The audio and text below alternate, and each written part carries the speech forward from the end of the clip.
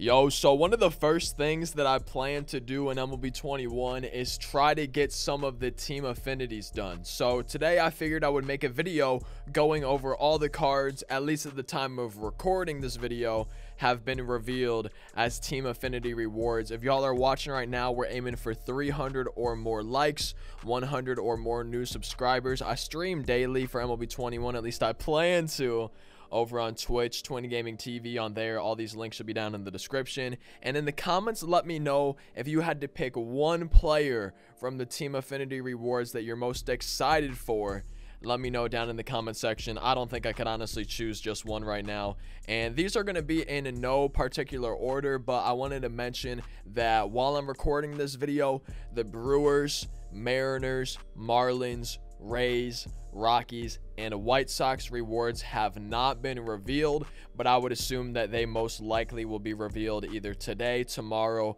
or sometime on Thursday over on MLB The Show's Twitter. I'm going to try to go through these as quick as I can, but I definitely want to point out the ones when we get to them that I'm looking forward to most. With that being said, I plan to try to get all 30 of them when MLB 21 comes around. I want to try to get all the teams done.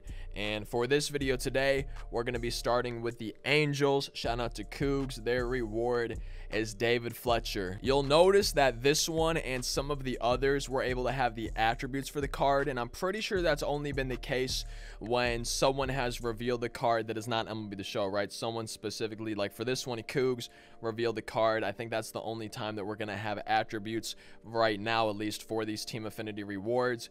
And just David Fletcher to start off, high contact, low power, high vision, great contact hitter should be really good early on.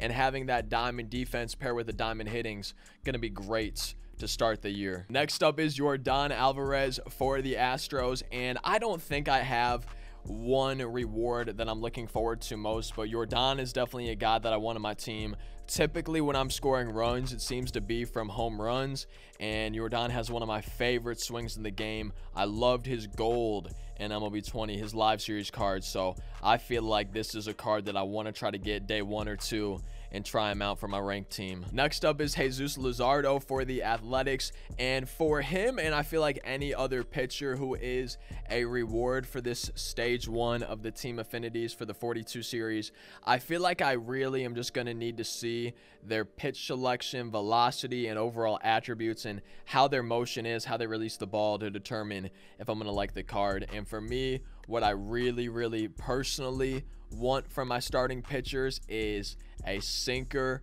a changeup, and a slider hopefully a cutter in addition to those but those are really the four pitches that i rely on the most. Next up is bo bichette for the blue jays. Bo bichette for me personally has a really good swing in mlb the show so i'm really excited to get my hands on this card try him out. Good mix of contact power and vision with some decent fielding and everything like that some okay speed so i feel like this is just a really well-rounded card and i definitely want to try him out because like i said i love his swing now we have Dansby Swanson for the Braves. He's somebody where I really haven't used his cards a whole lot, so I definitely want to get him, try him out, but he's not someone I'm necessarily looking forward to quite a bit, but I definitely, like all of these guys, want to try him out. Now we have the one that I revealed, a Jack Flaherty for the Cardinals. I like his pitch selection. Four seam slider, knuckle curve, sinker, and a changeup. Like I said for my starters, I love it when they have a sinker and a change. I wish he had a cutter too, but I think it'll be fine. 86 stamina, but what stands out to me is 96 hits per nine. If I'm not mistaken, the hits per nine attribute, the higher it is, the smaller it makes the PCI of your opponent's batter. So having 96 this early on in the year, I feel like should be really good. Some decent velocity, not terrible, but not amazing. Some good break on his pitches.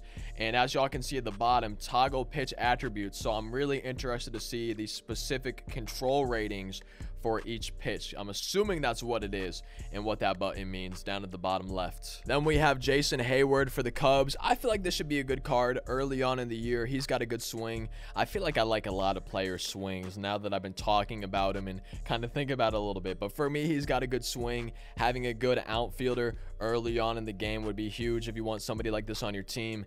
And again, Just like everybody, he's somebody that I want to try out and just see how I do with. Then we have Ketel Marte for the Diamondbacks, and he's definitely in my top five. No matter what top 10, I would say probably top five, maybe top three for Team Affinity rewards for stage one that I want. I love Ketel Marte's swing. I love switch hitters. Diamond switch hitters are even better. And I feel like this card will be one that I go after on day one. Then we have Max Muncy for the Dodgers. Another guy I just love. Max Muncy swinging MLB The Show. His live series, I believe, was a gold for most of, if not all, the year in MLB 20. I loved him in BR. I can't wait to see how I do with a diamond version of Max Muncy. I think that's going to be a lot of fun. Next up, shout out to your friend Kyle. We have Mike Yastrzemski from the Giants. Another guy, man. I love Yastrzemski's swing. I believe he had a finest card in 20. I want to say he did. I hope I'm not wrong with that, and I loved it. I loved his live series card and I feel like I'm to just fall in love with this card as well. He's definitely another god that I want to pick up, try out, and God, there's just so many good rewards for this Stage 1 of Team Affinity. It's to be so much fun. Next up is Fran Franmil Reyes for the Indians, and I would say he's in my top five.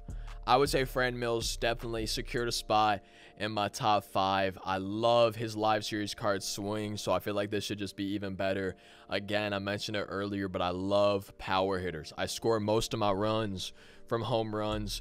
Franmil Reyes, I think, could get me some runs, could get me some home runs, and I need this card on day one or two. On to the Mets, we have Dominic Smith. I don't think I've ever really used too many Dominic Smith cards. So he's going to be another guy where I'm interested to see how I do with him, how the card plays.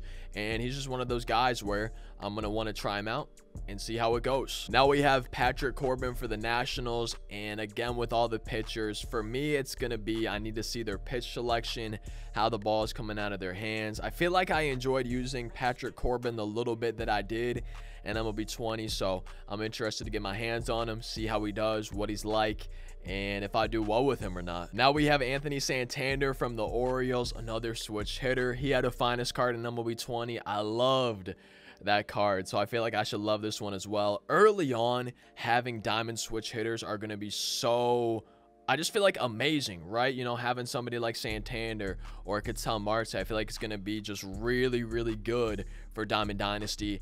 And I can't wait for this one. He's definitely my top 10. I don't know if I'd say top 5, but he's in my top 10 for ones that I want for sure. Now we have Trent Grisham for the Padres. I feel like just being on a team with, you know, Machado, Tatis, now Yu Darvish, Blake Snell, obviously Eric Hosmer, but just a really good team. I feel like he maybe sometimes gets a little bit overshadowed. I don't know about a lot of bit, but a little bit overshadowed.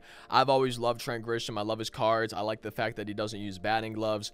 I want him on my no batting gloves team build later in the year. I like his swing. I have a feeling I'm going to love his card for the 42 series. Now we have Ke'Bryan Hayes for the Pirates, who I'm personally really excited about. I can't wait to try out this card. I don't know how I'm going to do with it. He's one that I'm just like, yes, I need this card. I don't know how it's going to go, but I really, really, really want to try it out and I'll definitely try to get him, I would assume, in the first week or two of the game. Next up is Andrew McCutchen for the Phillies. I love Andrew McCutchen cards. Ever since uh, probably MLB 15, I've been using Andrew McCutchen cards, having a lot of fun with him. I like his swing, and I can't wait to try out this one, see how he does for me. Next up is Joey Gallo for the Rangers, and he's no matter what in my top five. I would say probably top three, not 100%. I need to make that list a little bit though, but I need Joey Gallo, especially early on when you don't have the super high tier pitchers. We don't have 99 overall guys. Somebody like Gallo with lower contact, lower vision, he's going to do a lot better earlier on than maybe later in the year. So I need to get my hands on him early and just start racking up the dingers. I can't wait. Now we have Luis Castillo for the Reds. I want to say his live series card for me in one of the ESL qualifiers just carried me. He's who popped up in a gold round and was the only real choice that I felt like I had, and he just carried me a little bit. So I think this card's going to be fun to use. I want to see his pitch selection, velocity, all of that stuff. And try him out see if he makes my starting rotation for the first few weeks, first month or so. Next up is Xander Bogaerts for the Red Sox. I haven't used Xander cards a whole lot. I've used his live series one and BR a little bit, but not enough to really get a feel for how much I like his swing. So I want to get my hands on him, try him out, see how he does, see if he can find himself a spot on my starting roster. Now we have Salvador Perez from the Royals. I feel like this is going to be the card you see. I don't know about most, but maybe most. That's honestly where I was going with it. I feel like this might be the card you see most for people from stage one team affinities. Good catchers, especially early on in the year are hard to come by and he's got a decent glove some decent hitting. I feel like you're going to see this card quite a bit. I know that i'm probably looking towards him as my starting catcher for at least the first few weeks of the game. Next up is niko goodrum for the tigers. I don't have a whole lot to say about him except for i love his live series card in battle royale so that makes me really really want to try him out and just see if I can continue that success into this card and into ranked seasons. Second to last card of the video is Jose Berrios from the Twins. Again, with all pitchers, gotta see their stuff.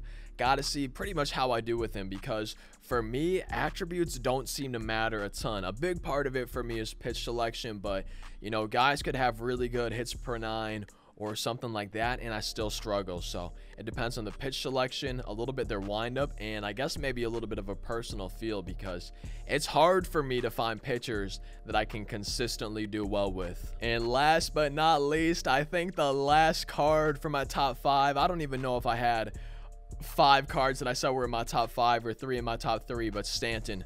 Giancarlo Stanton and Parmesan Carlo from the Yankees, man. Oh my goodness. If you guys were around about a year ago, actually a little bit over a year now, live series Stanton was on my ranked seasons team and he carried me to World Series that first season. So I'm hoping that this card can carry me to World Series in the first ranked season for MLB 21 Diamond Dynasty. I can't wait, man. Stanton is a beast. One of my favorite swings in MLB The Show. Oh my goodness, I'm excited for this card. And that's going to be it for the cards. Again, a few teams that we did not have. There's a chance that you guys are watching this video. A few more of them have been revealed. If that is the case, maybe someone in the comments could have an updated list for when we get the Brewers, Mariners, Marlins, Rays, Rockies, and White Sox rewards. That'd be awesome. I could try to update it if I remember to as well. But I hope you guys enjoyed this video. I can't wait to see in the comments who you are most excited for from the Stage 1 Team Affinity Like, comment, subscribe, social medias, all that good stuff. I hope you have a fantastic rest of your day. Thank you guys for watching. I'll see you tomorrow.